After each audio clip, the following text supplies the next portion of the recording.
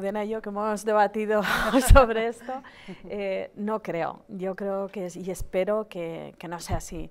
Es lógico que el Partido Popular no quiera estar y apoyar al, Partido Socialista porque es la, el líder de la oposición y es su papel de oposición no tiene por qué, porque eh, en democracia realmente es el contrapeso eh, real al partido que quiere formar gobierno.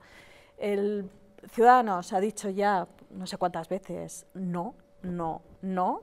Y Rivera hoy ha tenido una nueva ejecutiva y entiendo pues que, que, continuará ahora que nadie le va, no hay ninguna voz crítica, le va a poder toser a Albert Rivera, entonces Ciudadanos va a ser que no. Entonces, si quiere tener eh, un gobierno, va a tener que pasar por, por Podemos.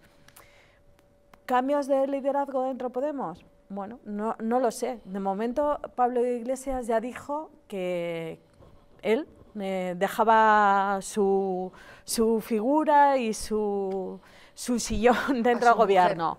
Ah, pero vetaban eso. Su, su sillón el caso, nunca ha tenido sillón, el sillón nah, que quería Pero como tener líder, como líder del partido de Unidas Podemos, no formaría parte de, de, ese, de ese gobierno.